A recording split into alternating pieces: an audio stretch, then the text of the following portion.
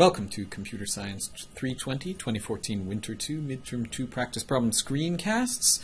We are working on problem 2.4, but I've actually scrolled back up to the top so I can point out in problem two, what really matters is does the master theorem apply, and if so, what case are we in? And the very first thing we test to see if the master theorem applies is whether we've got something of this form.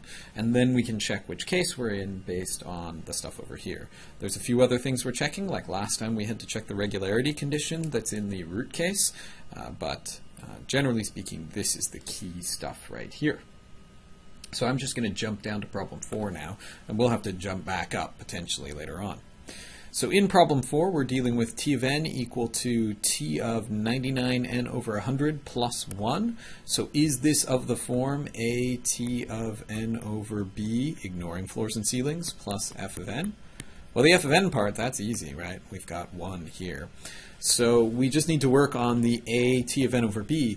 I don't see an a, but you know, t of 99n over 100, that's just 1 times t of 99n over 100. So our a is 1. Uh, what about b? Is this n over b? Well, we have n over 100 here, but what do we do with this 99? Well, we can easily rewrite this. This is the same as t of n over 100 divided by 99. Okay, same thing. I'll leave the floor in there so we can see it really is the same thing. And at this point, clearly, this thing on the bottom here is our b. b's got to be bigger than 1. Is 100 divided by 99 bigger than 1? Yes, it is. It's not a whole lot bigger than 1, but it's bigger than 1. So we are going to be able to apply the master theorem. So just like everywhere else, what's the next thing we do? We find the log base b of a. Well, b is this thing that's just barely larger than 1. Uh, a is equal to 1. What is the log base? Uh, let's see, the log base 100 divided by 99 of 1. Well, it turns out the log base anything larger than 1 of 1 is just 0. So this is equal to 0. Okay, so 1.01 or whatever this is raised to the 0 is 1, as is 2 to the 0 and 3 to the 0 and 4 to the 0, they're all 1. So this is just equal to 0. That's pretty handy. Uh, what about our f of n? How does it compare to n raised to some power? Well, 1, that is just equal to n to the 0, right? n to the 0 is 1. So, our exponent here matches the exponent we're going to have at the leaves, and that means we're in the balanced case. You can see it if I scroll back up. In the balanced case, f of n is in theta of n to the c, plus these log factors, which are usually not going to be relevant to us, and they aren't here. Uh, in this case, what matters is c's log base b of a. Remember, that's just 0.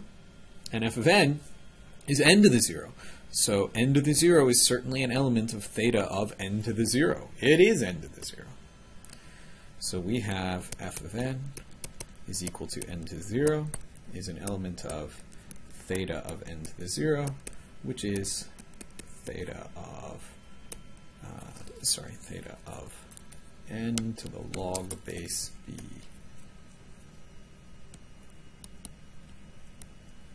of a. So that puts us in the balanced case. And that's all we need to know for the problem. Uh, you can also certainly solve this recurrence. Again, it's not very hard. We just go back up and look up what it's going to be, and it is theta of n to the c times that log factor we saw before with one more in the exponent. Since there was no log factor before, there was a zero in the exponent, so now there will be one, which means this will be n to the zero times log of n, in other words, log of n. So asymptotically, this will have the same performance as, say, binary search.